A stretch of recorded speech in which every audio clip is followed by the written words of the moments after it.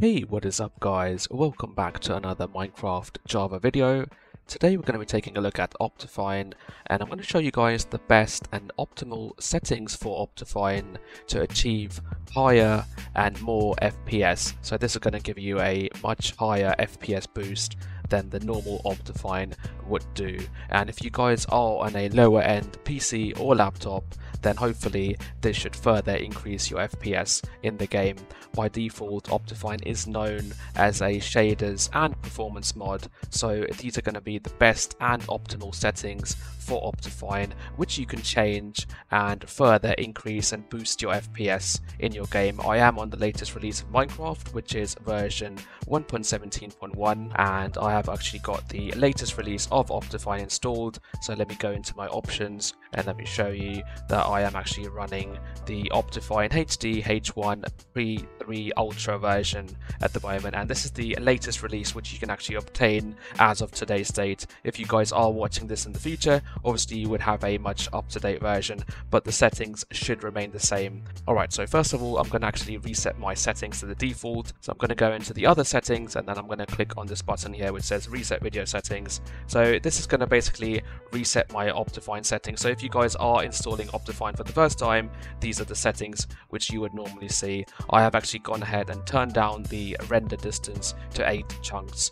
but that should not matter because I am actually standing in the nether, as you guys can see, and let me just turn back the FPS counter. So as you guys can see right now I am getting somewhere between 750 to 800 FPS and this is basically a static shot. I'm just standing there, I'm not moving around and I'm getting close to 750 to 800 FPS. So hopefully once I've shown you guys the best and optimal settings for Optifine then you should be able to get much more higher and more FPS boost in your game Alright, so I'm going to show you all of the options which I like to change in the settings and stuff that I like to do in Optifine which helps me to achieve a much higher FPS boost. If you guys are running Lunar Client, then in Lunar Client you should also be able to do the same thing which I'm going to show you today because Lunar Client does also use Optifine as well. So let me go into my options and I'll start with the process and I'll show you guys the best optimal settings for Optifine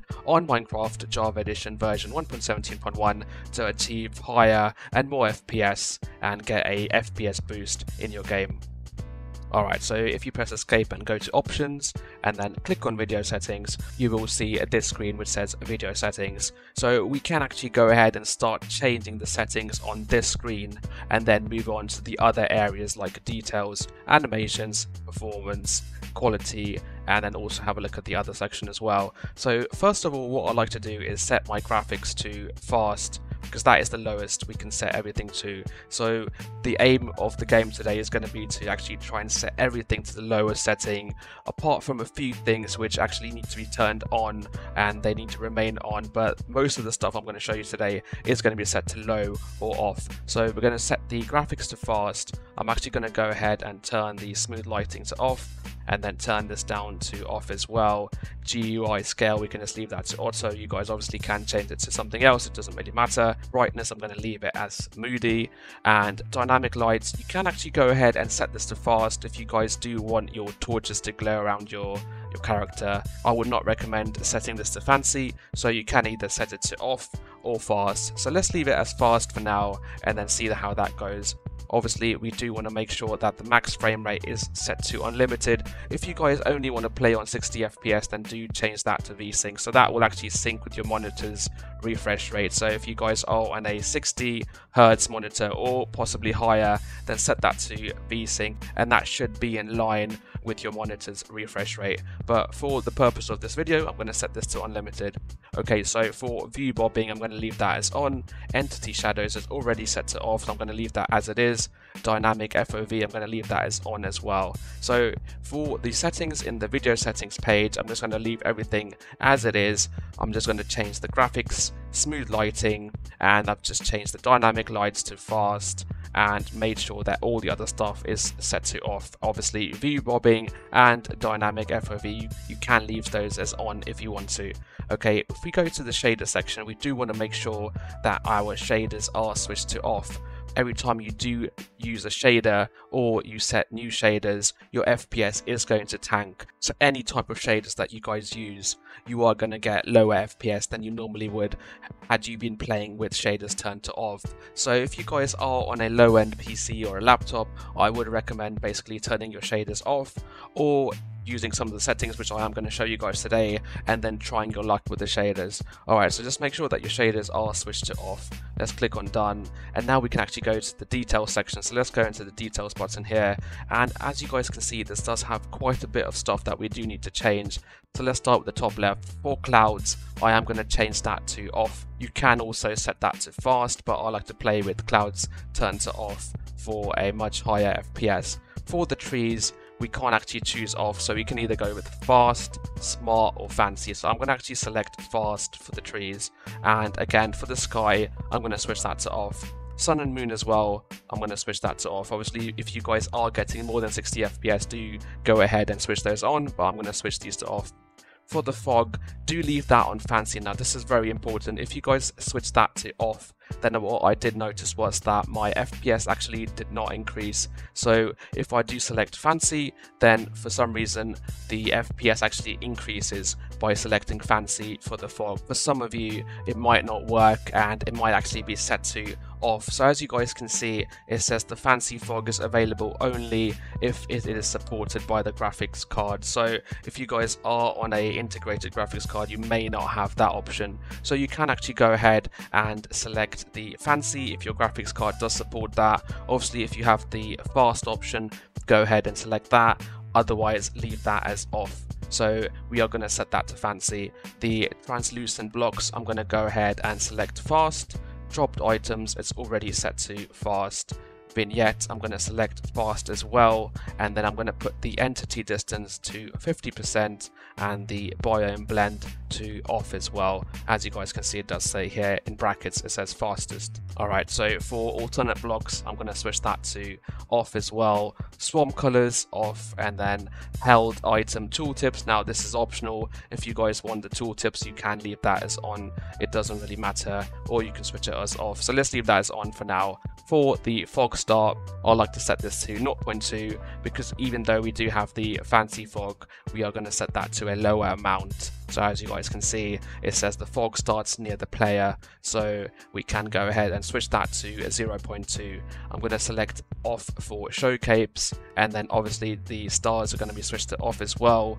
And rain and snow I'm going to select off as well. And cloud height you can obviously change this around if you guys were using clouds but because I've switched clouds to off I'm also going to select off for the cloud height. So as you guys can see most of the stuff here has either been changed to off or fast so if you guys are changing the settings on your system, do make sure to turn everything down as much as possible. And like I said earlier, for the fog, for some of you it might not have the fancy option, it might only have fast or off. So just go ahead and change that around and see which setting works best for you.